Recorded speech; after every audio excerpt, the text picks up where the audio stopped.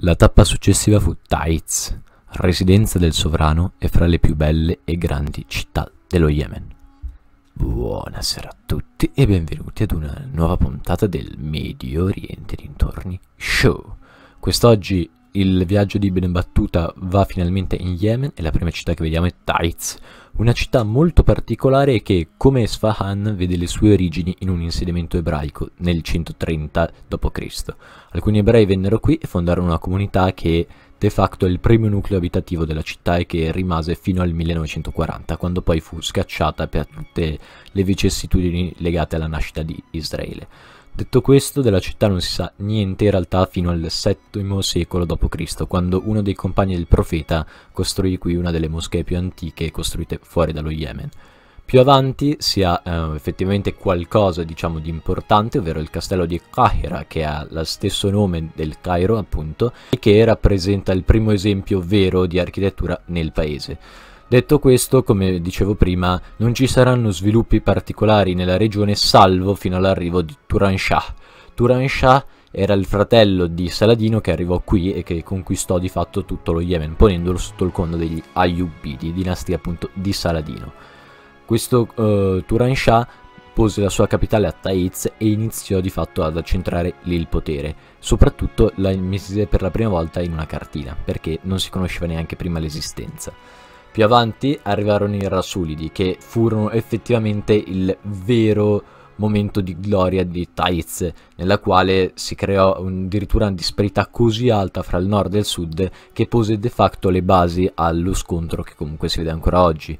E tra l'altro fece appunto di questa città, di tutto il sud dello Yemen, un posto davvero pazzesco. Più avanti abbiamo una brevissima parentesi con i Tahridi e poi arriviamo a un momento molto interessante, perché nel 1498 i portoghesi provarono a conquistare lo Yemen, non ci riuscirono, ma questo spaventò i Mammelucchi, che erano a quel tempo sovrani d'Egitto, che infatti nel 1516 riuscirono a conquistare lo Yemen. Peccato che nel 1516 gli ottomani conquistarono a loro volta i Mammelucchi, creando una situazione politica comunque molto interessante e particolare.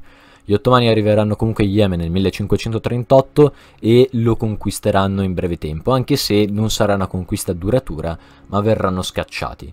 Prima vi ho parlato della divisione fra nord e sud che c'è ancora oggi, di quella alla fine non parlerò, però ne devo per forza parlare perché gli Zaiditi del nord di fatto scacciarono gli ottomani e posero il loro controllo su tutto lo Yemen. Controllo che durerà di fatto per diversi secoli, anche se con tutta una serie di problemi dovuti a proprio alla concezione di Stato dei Zaiditi, che è comunque molto particolare, molto sui generis.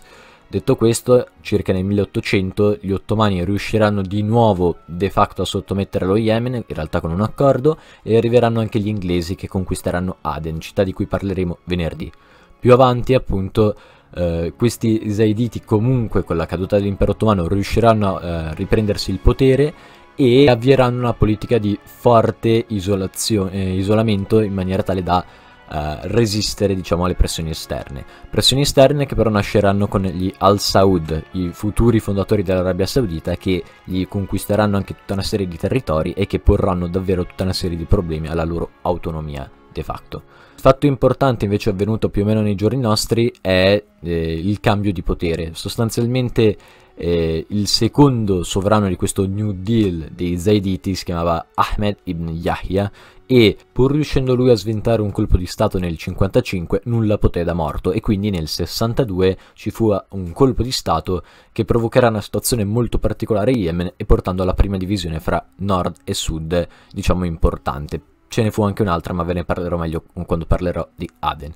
Detto questo Uh, salto tutta la parte proprio contemporanea per davvero e arrivo fino al 1990, anno in cui il, lo Yemen del Nord finalmente si riunì a quello del Sud. Purtroppo sappiamo che questa unione non è eh, stata definitiva e infatti ancora oggi ci sono dei problemi. Spero ovviamente che la situazione si risolva, auguro a tutti gli yemeniti che stanno ascoltando e anche a coloro che non lo stanno uh, facendo di sistemare in fretta questa situazione che è appunto molto triste, molto uh, brutta.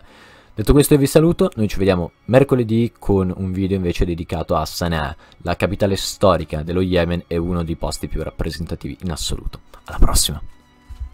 Ah, e seguite come sempre sul gruppo Telegram in particolare perché lì carico qualsiasi contenuto io faccia, quindi se volete essere sempre aggiornati e avere anche le cose appena escono proprio fresche fresche, lì è il posto, ma anche Facebook e Instagram comunque, ma Telegram meglio.